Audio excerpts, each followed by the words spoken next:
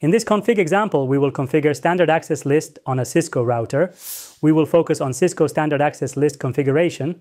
The IP address configurations on the router interfaces, server, and PCs have already done. Here, on the router, we will use a standard access list to allow PC0 and PC1 to access the destination server 20.0.0.5. We will prevent the other PC to access this server. By the way, there is always an implicit deny at the end of an access list. This means that deny all the other traffic.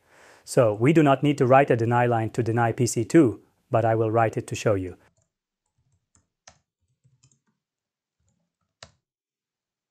We will create our standard access list with IP access list access list number command. As access list number, we can use 1 to 99 for standard access lists. We will use one here. Extended access list ranges are from 100 to 199 and from 2000 to 2699. Now we will write permit lines. We will allow PC0 to access the server with permit 10.0.0.20.0.0.0 command. Here, after permit, we use the IP address of the PC0, and after that we used wildcard mask for this host as 0.0.0.0. Then we will permit the other PC, PC1 access. To do this, we will use permit 10.0.0.30.0.0.0 command. As I mentioned before, there is an implicit deny at the end of all access lists.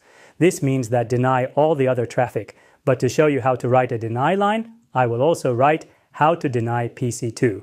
We will deny PC2 with deny 10.0 0.0.4, 0.0.0.0 line. Let's save our configuration. Now, our standard access list has created. It is time to add this standard access list to the interface. But where, if we have a standard access list, it is better to add it closer to the destination.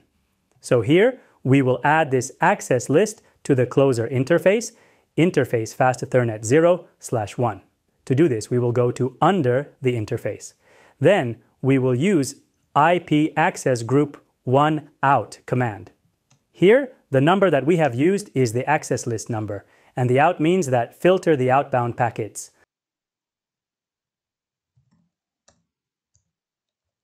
Lastly, we will save our configuration. We have finished standard access list configuration on Cisco router. Now we will verify our access list configuration. To do this, we will ping from the PCs to the destination server. Let's start with PC0.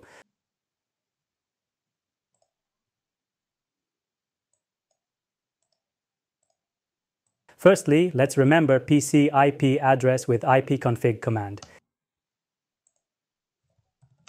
Then we will ping destination server 20.0.0.5.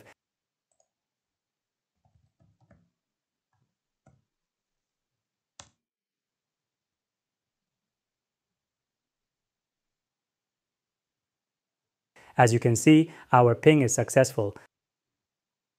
Let's ping the server from the second PC. This will be also successful because we have allowed them.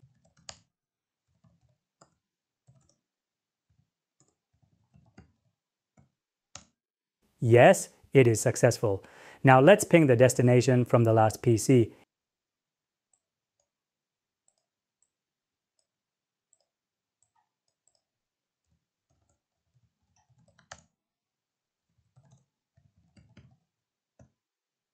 It is not successful, it is giving destination host unreachable error because we have denied the access of this PC with standard access list.